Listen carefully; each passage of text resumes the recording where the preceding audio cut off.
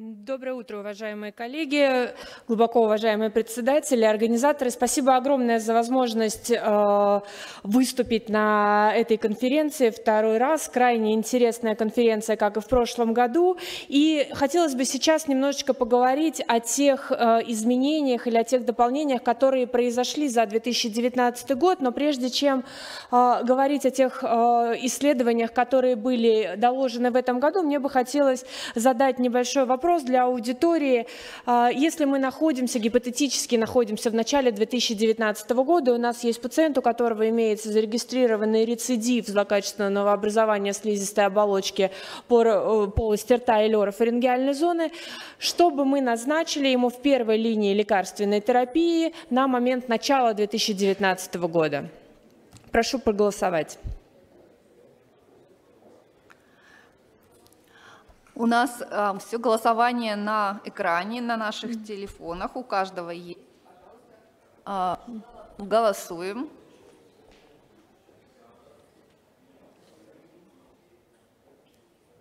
Сейчас, я надеюсь, наша IT-служба переключит. У нас на голосование видно. идет 10 минут, как правило. 10 секунд, извините. Да. Это, это кажется очень быстро, но на самом деле 10 секунд, это как практика показывает, да, очень долго. Да, это очень долго, но за это время и наш регионы успевают проголосовать, и ну, все в зале. Да, я думаю, что голосование закончено, и действительно большинство, практически 53 пациент, 53, прошу прощения, а, респондента ответили, что в рамках первой линии линии терапии выбрали бы режим экстрим, безусловно, хорошо себя зарекомендовавший режим, э, хорошо доложенные результаты, каждый третий пациент имеет ответ. Спасибо огромное, что мы имеем возможность так думать, и я надеюсь, что мы имеем возможность так делать. Но жизнь не стоит на месте, ситуация меняется. Какие же изменения мы имеем на сегодняшний момент? А, первый большой пул а, вопросов, как лечить ранний резектабельный или местно распространенный рак, что нам стало известно за 2019 год. Те исследования, которые были а, доложены на АСКО 2019 года, большинство из них относилось к назофарингеальной карциноме, это разновидность плоскоклеточного рака органов головы и шеи, которой, безусловно, стоит уделять внимание, потому что на сегодняшний момент заболеваемость также имеет, к сожалению, тенденцию к росту. И все значимые исследования были представлены нашими китайскими коллегами, как, собственно, эндемичными представителями данного заболевания. И одно из интересных исследований, исследование третьей фазы, в которой сравнивалась индукционная химиотерапия в стандартном режиме цисплатин с 5 с последующей химиолучевой терапией а, по сравнению с просто химиолучевой терапией у пациентов с местно распространенным раком. Достаточно большое исследование, включено 436 пациентов, простой дизайн. И посмотрите, какой выигрыш получают пациенты местно распространенным назофарингеальным раком, которым, которые получают индукционную химиотерапию стандартным дуплетом платины и э, вторперимединов. Здесь есть выигрыш и по выживаемости без прогрессирования, и по выживаемости без отдаленных метастазов, и по общей выживаемости. Э, все эти показатели достоверны, поэтому, возможно, данная опция для данной категории больных будет рассмотрена. Мне бы хотелось обратить внимание, я прошу прощения, так, а сейчас, секундочку, я извиняюсь, на а, то поле, которое мы видим в левом, правом, верхнем углу. А, безусловно, мы говорим о тех э, зарегистрированных препаратах, которые на сегодняшний момент есть в рекомендации, но мы должны четко различать а, те рекомендации, которые позволяют нам использовать препарат для данной локализации, те рекомендации, которые нас а, ограничивают в использовании данных препаратов в какой-либо линии терапии. В настоящий момент речь пока шла только о зарегистрированных препаратах, но без рассматриваемой опции в рамках индукции. Еще одно исследование также наших китайских китайских коллег, а, которая а, еще раз показывает эффективность, которая, в общем-то, уже была показана в 2016 году для пациентов с назофарингеальной карциномой. Преимущество имеет, а, безусловно, схема не цисплатин с торперимединами, а гемцитабин с торперимединами. Также достаточно большое исследование, у которых у пациентов с назофарингеальной карциномой, которым в рамках индукции проводили режим GP с последующей химиолучевой терапией. И, безусловно, режим GP показал свое преимущество, но, к сожалению, только выживаемость без прогрессирования, общая выживаемость оказалась одинаковой у пациентов с индукционной и неиндукционной э, химиотерапией, но, тем не менее, опять же, об этой опции стоит задумываться для пациентов с назофарингеальным раком, особенно в местно распространенных его формах. Очень важный вопрос, который начинает активно обсуждаться, и 2019 год хорошее тому подтверждение, это возможность использования ингибиторов контрольных точек иммунного ответа для лечения местно распространенного рака, возможно, в неоадювантном режиме перед проведением хирургического вмешательства. Интересное исследование было рассмотрено также на АСКО 2019 года, проведенное нашими американскими коллегами MD Anderson Cancer Center. И э, в данном исследовании использовались э, анти-PDL-1 ингибиторы в сочетании с анти-CTLA-4 ингибиторами, а, либо анти-PDL-1 ингибиторы в монорежиме в неоадювантной терапии с последующим хирургическим лечением, адювантной химиолучевой терапией и последующим переводом на анти-PDL-1 поддерживающую терапию. И самым главным вопросом, который исследователи перед собой ставили, это, а, собственно, а, то возможное воздействие на мутационную нагрузку клетки, то возможное воздействие на микроокружение, разрушения клетки с возможным повышением уровня CD8 а, опухоль-инфильтрирующих лимфоцитов, которые, собственно, повышают чувствительность самой опухоли к ингибиторам контрольных точек иммунного ответа. И, в общем-то, было достаточно достоверно показано, что не только а, хорошая выживаемость без прогрессирования у той группы пациентов, которая получала как монотерапию, так и комбинацию с достаточно низким профилем токсичности, но очень большое число объективных ответов, практически 43 пациента после а, проведенной индукции ингибиторами контрольных точек иммунного ответа а, смогли показать практически полный терапевтический ответ с а, наибольшим максимальным частичным ответом до 32%. И 79% пациентов, это достаточно большой показатель. А, при иммуногистохимическом исследовании показали повышение инфильтрации CD8 опухоли инфильтрирующих лимфоцитов, что позволяет задумываться о том, что в адювантном поддерживающем режиме антипедиэль-1 терапия будет а, у данной когорты пациентов также достаточно эффективна и будет коррелировать а, с хорошим объективным ответом. Новые препараты, которые были представлены для данной когорты пациентов, напоминаю, что мы говорим о местно распространенном плоскоклеточном раке органов головы и шеи. Исследование, которое представлено группой Гартек, представлено на ЭСМО 2019 года. Это конкурентная химиолучевая терапия с, высоко, с высокими дозами цисплатина, а, с добавлением а, так называемого ингибитора, ингибиторов апоптоза. Это м, препарат, который воздействует на внутренние эндогенные ингибиторы каспазного цикла. Называется он в рамках клинического исследования DEBI 1143. Достаточно простой, опять же, дизайн исследования. Две группы пациентов пациентов в сравнении с препаратом, в сравнении с плацебо. И посмотрите, пожалуйста, прекрасные результаты исследователи получили. Они получили улучшение локорегионарного контроля у а, пациентов, которые получали Э, ингибитор ингибитора апоптозы и достоверное увеличение выживаемости без прогрессирования, которое также было статистически значимо в той группе, где проводился, э, проводилось лечение с исследованием препаратом. Повторюсь, э, препарат не зарегистрирован, пока проводится только третья фаза исследований. Еще одно исследование, которое было обновлено в 2019 году, его результаты были представлены в июне 2019 года, это рандомизированное исследование адъювантной терапии терапии у пациентов с нерезектабельными опухолями головы и шеи высокого риска после конкурентной химиолучевой терапии, в котором в адювантном режиме проводили афатинип. Препарат зарегистрирован, но не для адювантной терапии опухоли данной локализации. И, к сожалению, никакого выигрыша от назначения данного таргетного препарата все-таки не получили, несмотря на а, достаточно неплохие а, факторы переносимости в адювантном режиме. Вторая линия терапии. Здесь, к сожалению, мы вынуждены развести руками. Очень мало исследований, которые позволяют нам надеяться на какие-то прорывы. На сегодняшний момент во второй линии лечения рецидивирующего рака органов головы и шеи. Единственное исследование, которое, по моим представлениям, заслуживало внимания, это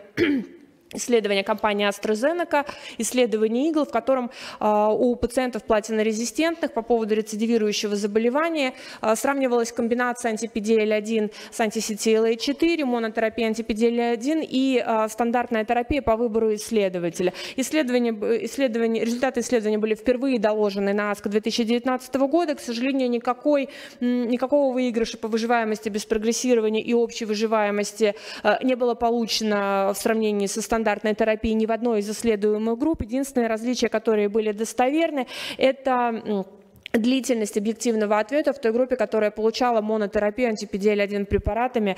А, я думаю, что, к сожалению, на основании а, результатов этого исследования данные препараты зарегистрированы для нашей патологии не будут.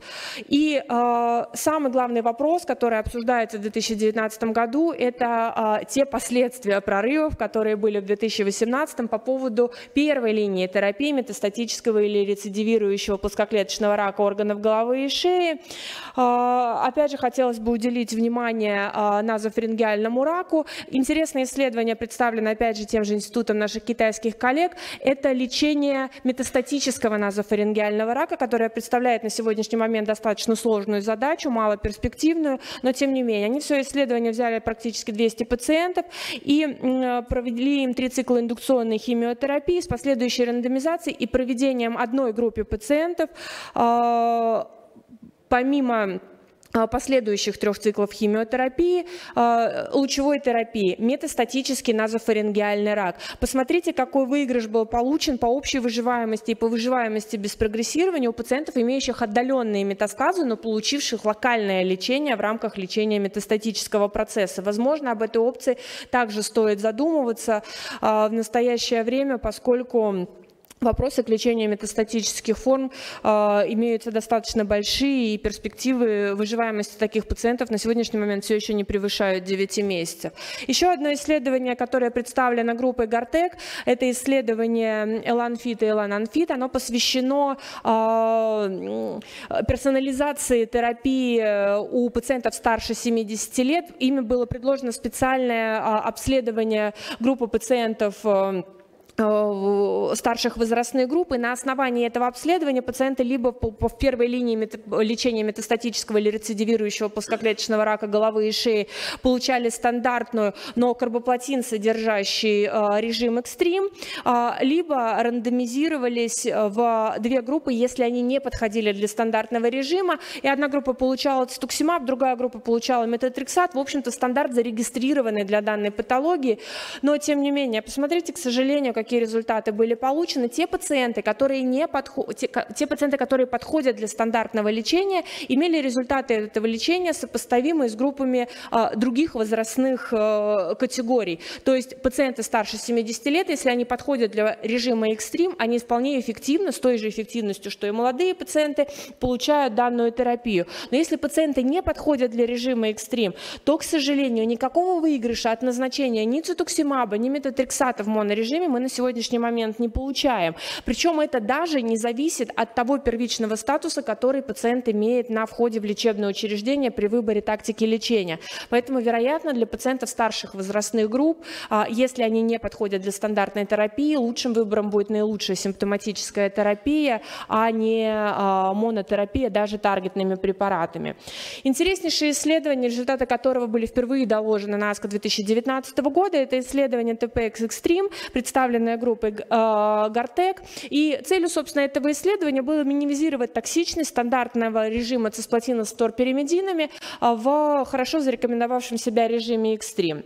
А, две группы пациентов, стандартная рандомизация, Одна группа получала стандартную терапию в режиме экстрем, вторая получала э, цитуксимаб с введением доцитоксела с цисплатином, причем 4 цикла, а не 6, как в режиме экстрем. Результаты получились э, хорошие и обнадеживающие, поскольку ни медиана э, общей выживаемости, ни медиана выживаемости без прогрессирования достоверно в обеих группах не отличалась. Частота объективных ответов была приблизительно такая же, а вот профиль токсичности был значительно мягче в группе, которая получала доцитоксел с цисплатином, поэтому, возможно, это а, последующее опция для а, тех пациентов, которым нужен минимальный токсический эффект в рамках первой линии лечения. И, конечно же, обновленные результаты исследования Keynote 048, на основании которого а, производилось сравнение пембролизумаба в монотерапии, пембролизумаба в комбинации с химиотерапией по сравнению с режимом экстрим, и сравнивались попарно различные группы в зависимости от индекса CPS. В заключении данного исследования в тех обновленных данных было однозначно показано, показано, что пембролизумаб с лекарственной терапией повышает общую выживаемость как в общей популяции, так и в популяции, которая имеет достаточно как высокие, так и низкие индексы ТПС. Длительность ответа будет выше в той группе, которая получает в комплексе лечения пембролизумаб с сопоставимым профилем токсичности. А если мы сравниваем монотерапию, то здесь также наблюдается повышение общей выживаемости, особенно в группе, имеющей высокий индекс CPS. На основании этих э, данных, которые были проанализированы еще в 2019 году, в июне э, 2019 года FDA зарегистрировала э, пембролизумаб в первой линии лечения опухоли головы и шеи, а 20 ноября 2019 года данный препарат для этой патологии в первой линии был зарегистрирован и в Европе. Показания аннотация к регистрации немножко отличается. Если э, FDA четко регламентирует дозировку и э, кратность введения, то Европа нам этого не говорит. Поэтому у меня возникает после всего того, что мы смогли обсудить за эти короткие 20 минут, чтобы мы назначили сейчас нашему пациенту в первой линии терапии на конец 2019 года. Прошу проголосовать.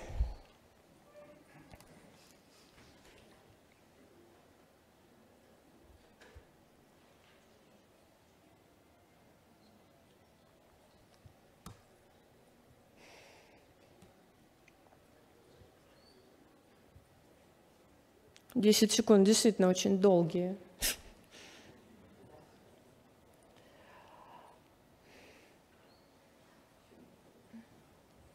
Спасибо огромное за ваши ответы. Я надеюсь, что действительно, судя по тому, что я вижу, а, возможно, этот доклад имел Э, хорошие цели и цели эти достигнуты, действительно мы будем рассматривать антипедиадин терапию в рамках первой линии лечения.